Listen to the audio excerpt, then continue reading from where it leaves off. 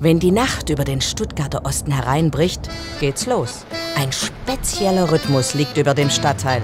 Tango.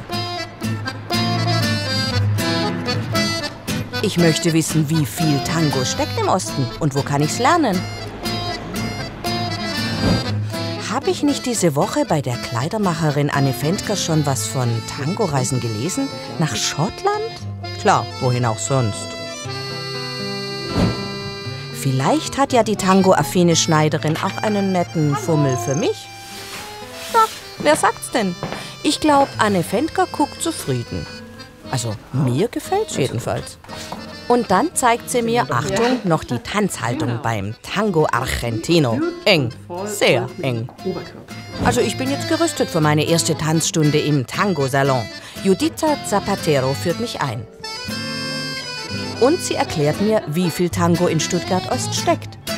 Wir kommen gleich nach Buenos Aires. Stuttgart-Ost ist eine Hochburg. Wir haben hier da oben den Palast, hier sind wir, Tango Salon, dann gibt es das Loft. Wir sind alle ein paar Gehminuten voneinander entfernt und überall ist viel los. Also ich habe in der Tanzschule Tango gelernt. Ranschleichen, ranschleichen, dreimal schütteln. Gott sei Dank. Das war die Schrittfolge für den Herrn. Aber ähm, wie ist das beim argentinischen Tango? Der argentinische Tango ist halt immer improvisiert.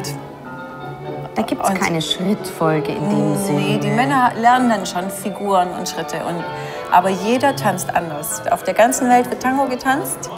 Und es ist fantastisch, weil du kannst dich in Tango mit ihnen sozusagen verständigen. Das Führen und das Folgen. Frau führt.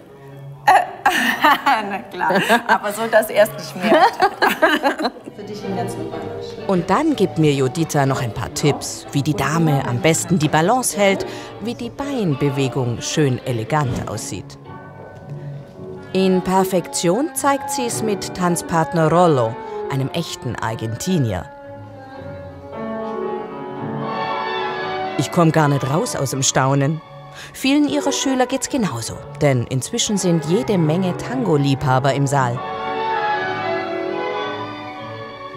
Judita, mehrfache Tango-Vize-Weltmeisterin, passt genau auf, dass Schritte und Haltung richtig sind. Es ist einfach sehr entspannt nach dem Feierabend. Man kann gut abschalten ähm, nach der Arbeit. Das erdet einen nochmal. Man kommt ganz auf andere Gedanken. Einfach den anderen auch ähm, zu spüren, ganz präsent zu sein. Also man kann an nichts anderes mehr denken, als einfach nur seinen Körper zu spüren. Der Tanz ist eine Faszination. Judita ist eine fantastische Lehrerin und wir haben Spaß zusammen. Der Tango-Höhepunkt ist eine sogenannte Milonga, ein frühestens um 21 Uhr beginnender Tangoabend für jedermann. Im Stuttgarter Osten, dem Tango-Hotspot im Land, gibt's die jede Nacht. Im Tango Loft, der größten Tango-Tanzschule, erzählt mir Kenneth Fraser, wer hier die Nacht durchtanzt. Also es ist ein Ort, wo, wo ganz viele Leute kommen äh, aus verschiedenen Ecken, verschiedenen Städten, verschiedenen Schulen.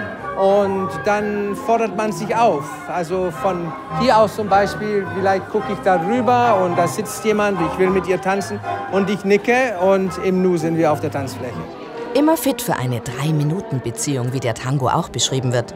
Schauspielerin Lisa Wildmann jedenfalls hat's erwischt. wurde angefixt und äh, bin süchtig. Ja? ja? Ja, schon. Wir kommen nie so gut raus wie Mittwochmorgens, wenn wir dienstags tanzen waren und ähm, einen wunderbaren Abend hatten. Wer den Tango liebt, dem ist keine Nacht lang genug. Und mir wird klar, so viel sinnlicher Tango steckt im Stuttgarter Osten.